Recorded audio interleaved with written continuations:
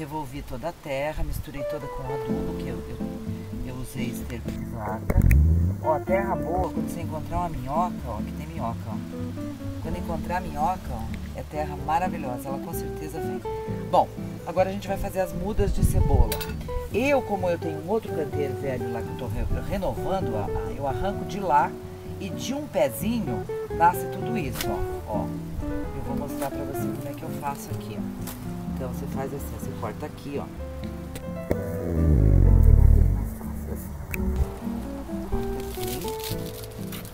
Isso aqui, ó, eu não jogo fora. No primeiro momento, se eu tiver pouca cebola, porque eu pico tudo, tiro toda a folhinha estragada, pico tudo e coloco no, no freezer. Dá pra usar, claro que o tempero não vai estar tá fresco, né? Ah, mas até ela ficar bonita, boa para você começar a comer, tá? Isso aqui então vai para lá depois. Aqui é daqui que nós vamos fazer as mudas. E olha só, eu vou plantar isso aqui, um em cada buraquinho. Vai ficar uma toceira assim.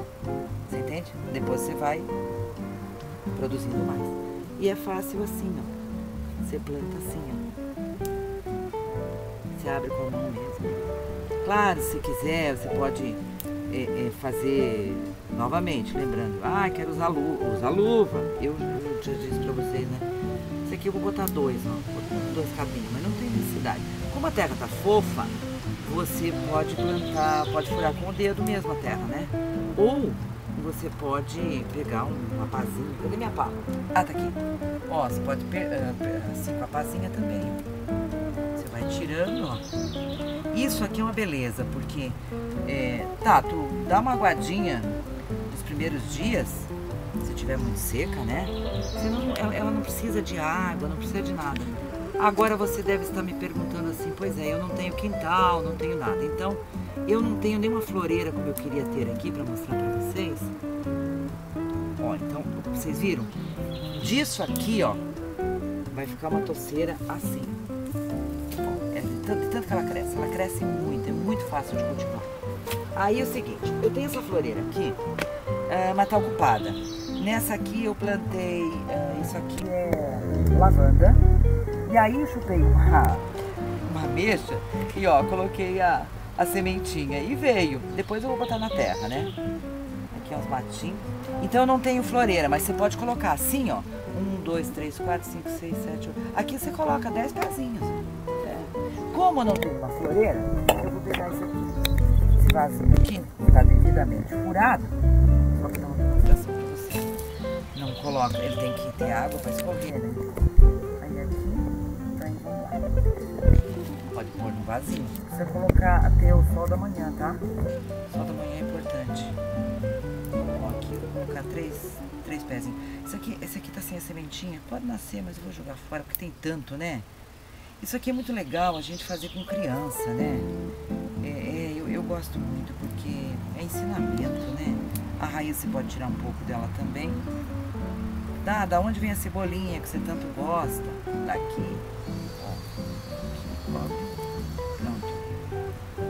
Só para você ter uma ideia de como você pode fazer isso em vaso. Ó. Pegando o sol da manhã, aguando ela um pouquinho à tarde, nos primeiros dias, pronto, sua cebolinha vingará.